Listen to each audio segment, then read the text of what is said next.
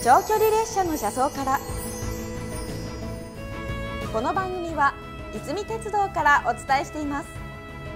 セゾン東進の中野春弘です。フリーアナウンサーの岩見さやかです。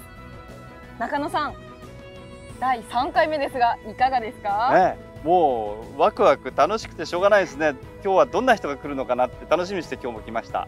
第3回目のゲストはこの方です。第3回目のゲストはもともとはスポーツ記者。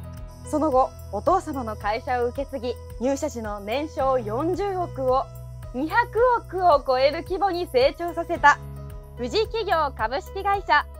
相談役川手洋一さんです。よろしくお願いします。よろしくお願いしますもともとはあの、はい、ポチ新聞ってね一流の記者さんって一流でもないんですけど、はい、でそれがあの突如会社を受け継ぐことになって、はい、5倍 200, 200億の年商ってもうこれも大企業なんですけれども、はい、まあその規模に成長ということでぜひちょっとその秘訣といいますかね。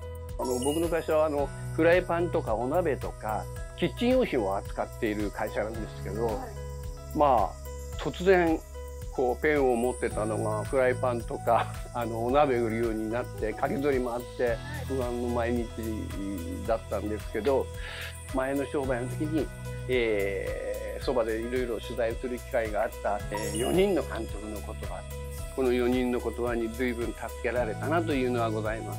はい、どんな言葉だったんですか？長嶋さんの方はまずもう長嶋さんの生き方そのものなんですけどまず目的を持ったらそれをもう絶対に自分が到達するまで諦めない。どんな時でも思い続ける。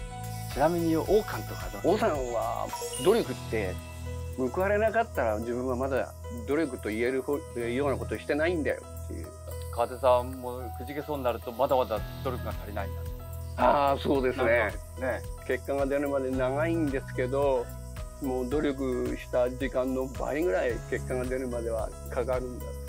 実際には何がきっかけで一気にこう商売が好転してた？周りの人の力、えー、これ人間関係っていうのはものすごくやっぱり大きいと思いました。それからやっぱ謙虚に生きるんだっていう、はい。謙虚に生きるって結構結果が出るまで時間がかかって苦しいんですけどそれを耐えて姿勢を崩さないことかなっていうようなはい、すごく大事なことですね。星野さんには何という言葉をいただいたんですか？もう星野さんらしい言い方でね、そうか倒れるなら前向いて倒れろ。前を向いて倒れろ。はい。